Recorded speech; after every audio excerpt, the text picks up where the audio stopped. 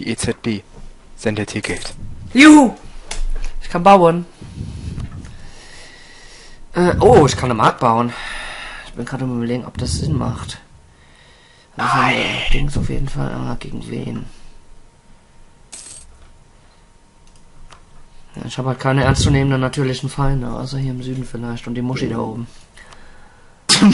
ah ja, kann ich nichts dafür, wenn das Ding so heißt. Musch. Ja, okay, du merkst schon, du weißt nicht, wie Muschi geschrieben wird. Schnauze. Weißt du's denn? Weißt du's denn, hä?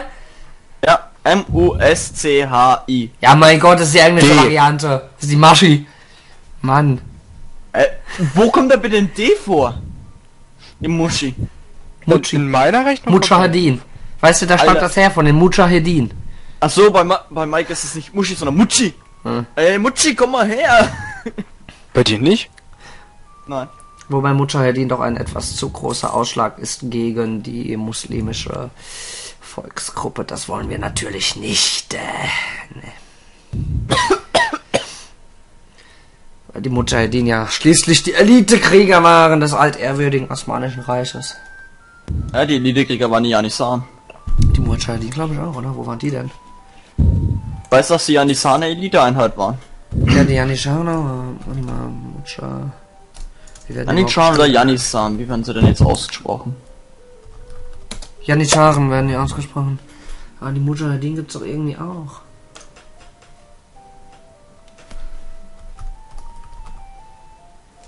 Da sind sie noch. Mit Doppel-D, das muss man ja auch erstmal wissen. Doppel D. Oh. ich glaube, ich ziehe meine Aussage sogar zurück. Was denn? Ähm. Also ich ziehe meine Entschuldigung definitiv zurück. Äh, grundsätzlich erstmal ist die Mujahedin äh, abgeleitet von Dschihad und bezeichnet allgemein jemanden, der sich um die Verbreitung oder Verteidigung des Islam bemüht. Soweit nicht schlimm. Aber islamische Widerstandskämpfer und Terrorgruppen nennen sich selbst Mujahedin, da sie ihre eigene Glaubensauffassung als den einzig wahren Weg ansehen. Ähm, lieber IS, fuck you. Schön gesagt. Okay. Verdammt, wir haben einen IS-Sympathisanten bei uns in der Gruppe.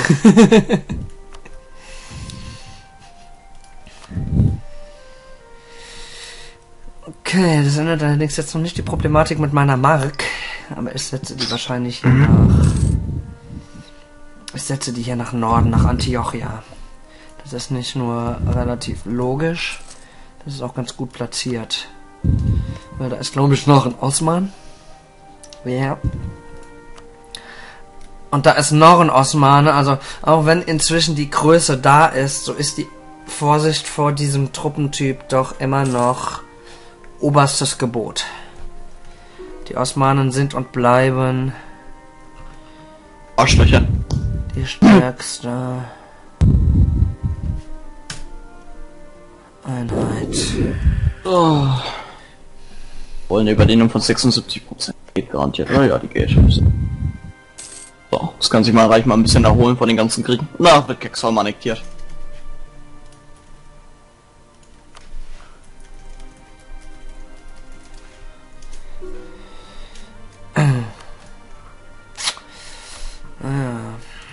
Gut.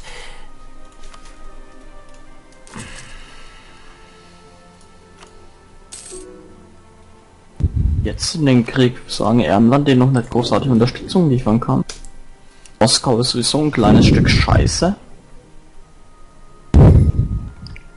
Aber ich war das, was ein bisschen Überdehnung weg ist.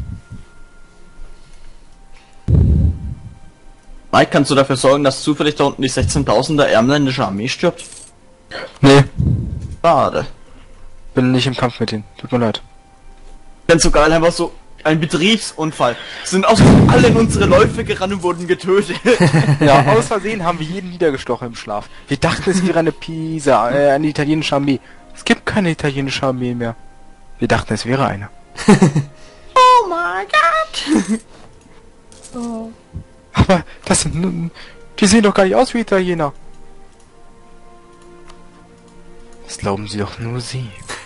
Haben sie schon mal einen Italiener gesehen? Nein. Sehen Sie? Weil wir sie nämlich alle ausgerottet haben. Weißt du? Ja. Und wenn Leute in Italien stehen, sind das Italiener. Automatisch. Auch wenn das nicht mit der Aussage zusammenpasst, wir haben sie alle ausgerottet, aber es ist so.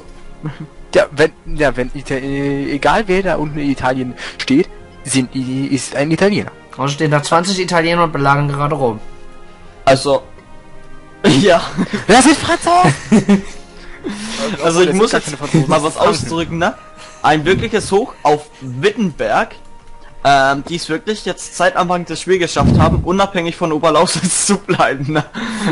Sind Äh, aber, viel durch mich. Ich habe sie zwischendurch geschützt.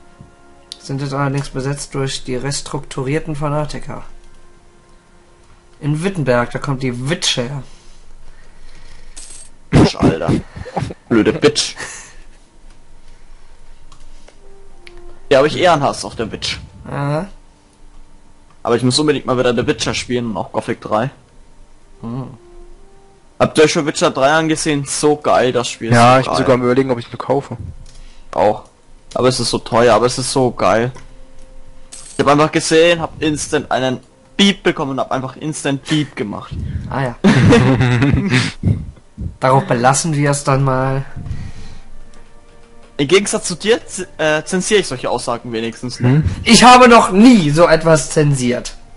Ich, ich, ich wäge immer ab. Und da Europa Universalis ja definitiv ein Spiel ab 18 ist, ist das schon in Ordnung. Okay. Jedenfalls, wenn wir es spielen. Ähm, Penissalat. kann man irgendwie sehen, wie weit ich äh, entfernt ne, was machen kann, also was bauen kann. Leider. Obwohl Wie? ich bauen sogar hier Kernprovinz machen kann. Nein, leider nicht. Was? Was? Was? Ja, was, halt was? über die ähm, Kolonialreichweite. Echt? Mhm. Okay. Gut, Kolonialreichweite, wo bist du? 325. Wobei gibt's ne oder geht es über die Handelskarte? Ich weiß es Guck nicht. gerade. genau. Nee, es ist die Kolonialreichweite. Sicher zeigt dir auch an, Ja. drei bauen kannst. Nein. Aber es ist die Kolonialreichweite. Also, ob das da gezeigt wird, weiß ich nicht. Davon gehe ich jetzt mal nicht aus. Was ist? Wo ist denn die Kolonialkarte überhaupt? Ich nutze die ganzen Karten so selten. Ich weiß gar nicht, warum ich das hier aufgeklappt habe. Hm? Kolonialkartenmodus. Äh, wo machst du denn? Ne, wird nicht angezeigt. Ja, doch, effektive Distanz und, Kolon und Kolonialreichweite, wenn man dann mit der Maus drauf geht. Aber es wird jetzt nicht als farbliche Markierung oder sowas dann gezeigt. Ah, die Pest. Naja, das ist schon eine, du. Alter, euer Ernst, ich hab 38,8 Armee-Tradition und bekomme so einen Kack-Pissen-General. Irgendwo sind hier schon wieder meine, meine Steuern am Sterben. Ich mach zwei weniger im Monat, warum auch immer. Noch plus 25,28, das ist sau wenig. Musst du mal Geld machen. Das glaube ich, halt meine Kameraden. Musst du mal arbeiten? I. Das lasse ich ja gar nicht ein, Mike. Das ist ja eine Beleidigung. Arbeiten. Sowas. Wieso? Weil ich dir zutraue, dass du arbeiten könntest. Ja? Niemals in meinem Leben werde ich arbeiten. Ich bin Student und dabei bleibt es auch. Für immer. Für immer und ewig. Amen.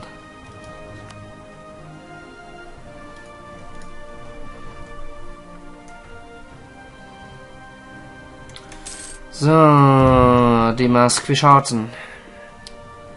Noch vier Jahre, etwas weniger. Ah ja. So. Ähm.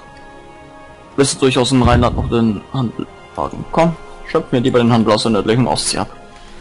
Also Sina hat sich ja echt verdammt gut was hingesetzt in Sachen Bündnisse. Hm. Ich würde ja Wer? eigentlich ganz gerne mal platt machen, aber... Gut, ich könnte es. Allerdings ist die Front sehr groß, das will ich mit drei Armeen eigentlich nicht machen. Brauchst du ausländische Hilfstruppen? Oh, nee, soweit ist es dann auch noch nicht. Außerdem ist das Bündnis... Nein, das ist... Außerdem... Oh, nein, nein, nein, nein, nein, kann ich auf gar keinen Fall machen. Ah, geht nicht. Was du nicht kannst, bestimme ich. Ja, ja. Reformen. Nein, aus strategischen Gründen äh, ist das absolut ausgeschlossen.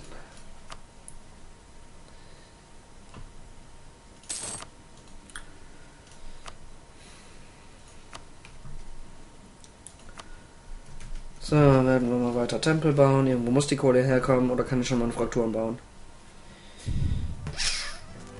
Theoretisch ja, praktisch. Scheint es um Geld. Wie immer.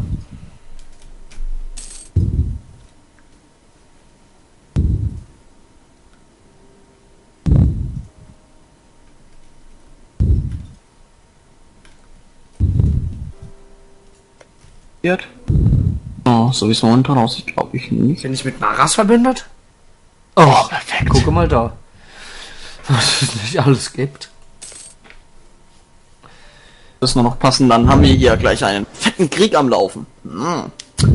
Da wird der fette Fische an Land. Oh, Richtige jetzt Haie und. Störe. Fisch essen. Ernst. Hm. Oder ich muss so ein bisschen warten, weil meine ganzen Generäle momentan irgendwie an Schlaganfällen sterben. Ja, Krieg führen kann ich die nächsten Jahre sowieso nicht, weil wegen Regentschaftsrat und zwar noch zehn Jahre. Und wie ich mein Glück kenne, verreckt der Thronfolger auch eines qualvollen To- Todes. Also etwas ganz Natürliches. Ja. Es ist eigentlich schon dazu traurig, um drüber zu lachen.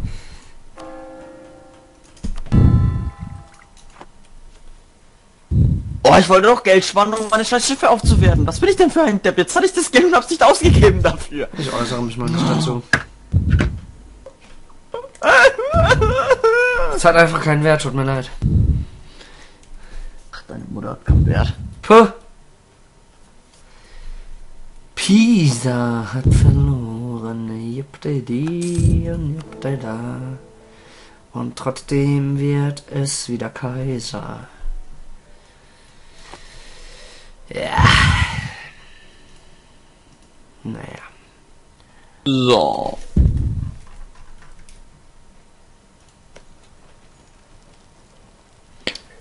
England will übrigens gerade wieder hochmarschieren, wollte ich nur kurz mitteilen. Hm? Dürfen sie ruhig machen, Heidelberg steht in ihrem Land. Machen nicht mal mehr an dem Krieg mit, an de, äh, den ich vorhab zu tun. Hm? Guten lassen, blassen Nasen. Meine zuerst. Vasallen marschieren einfach in, äh, hier, im Balkan ein. Die wissen, was zu tun ist, ne?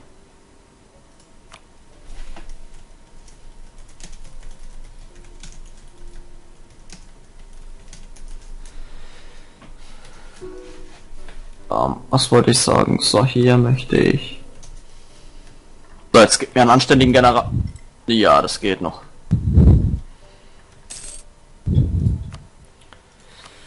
Ah, na, na, na, na. Karneval im Dschihad.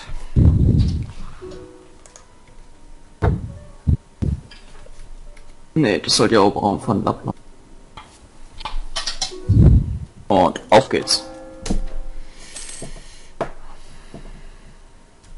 Und ich bekomme sofort den Bremen Nationalisten nach. Ist diese Welt nicht wunderbar?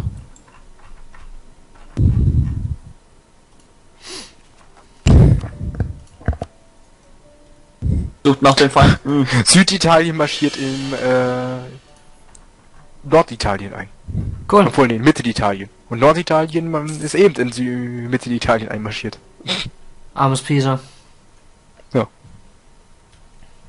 24.000 haben die doch nur. Da muss ich, da muss ich eine Haupt. Ja, was mein in, äh, also ganz ehrlich, welcher äh, Reichsmitglied ist auch schon so dämlich und er äh, versucht, das Reich vor mir zu schützen. Äh, Pisa? Ist Behalt euch, behalt euch, behalt euch, behalt euch. Nein. Das ist einfach dumm. Ich lass mir doch jetzt von dir keinen Stress machen hier. Was soll denn das? Schämst du dich nicht? Beeilt euch. Beeilt du dich mal, ja? Was machst du denn da überhaupt? Ach, ja Neptun. Was? Halte doch mal deine Klappe. Nein. So ein blöder Let's Player, der einfach nicht seinen Mund halten kann, wenn er Let's Playt, na, das ist unglaublich.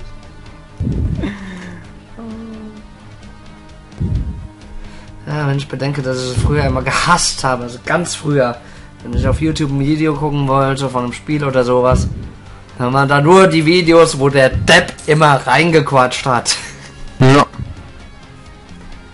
Bis man dann den ersten gefunden hat, der lustig war und damit fing dann alles an.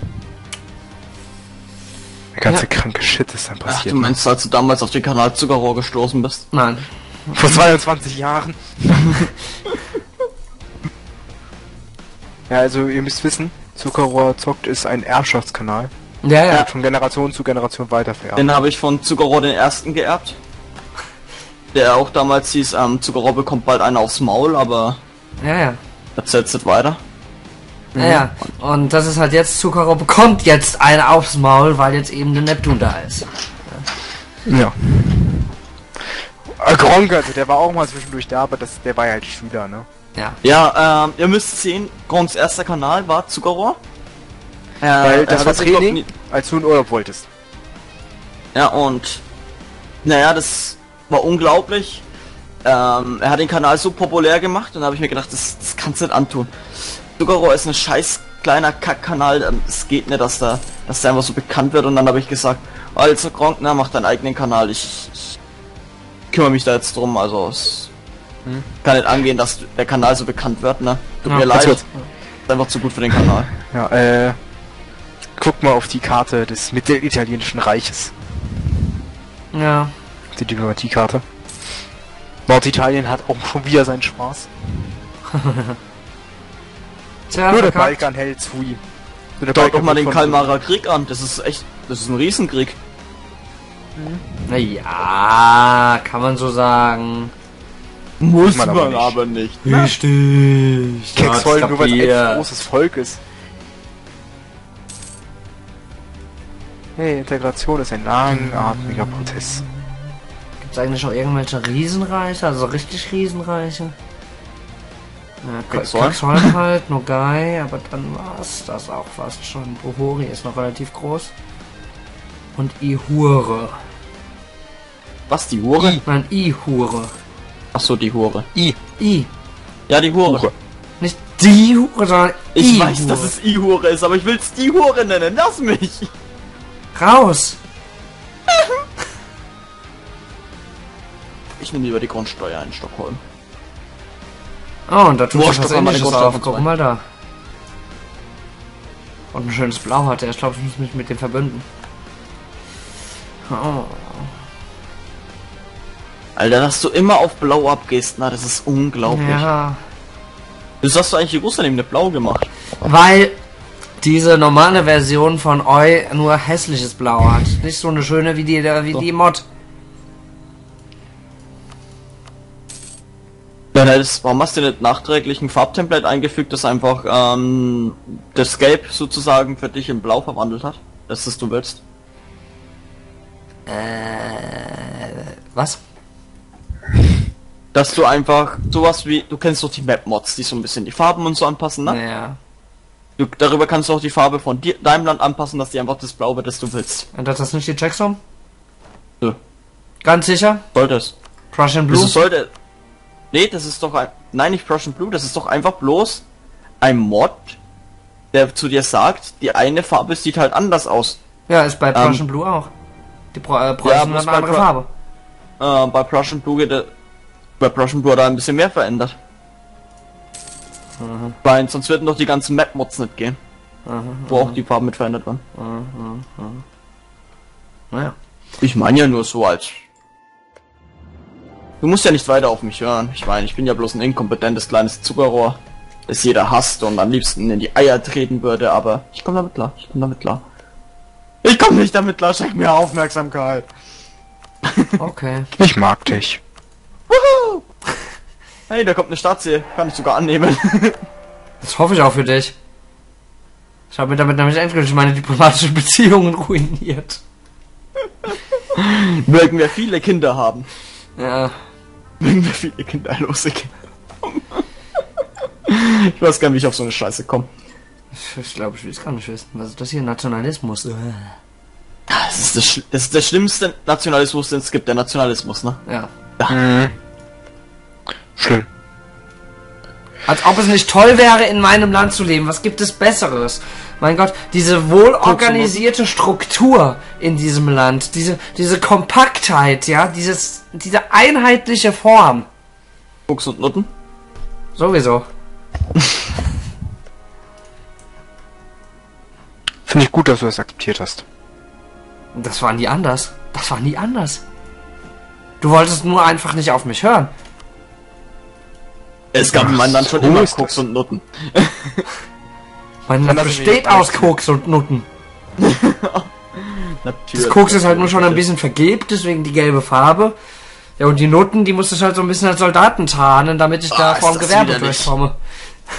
Alter, einfach nur widerlich. Ah.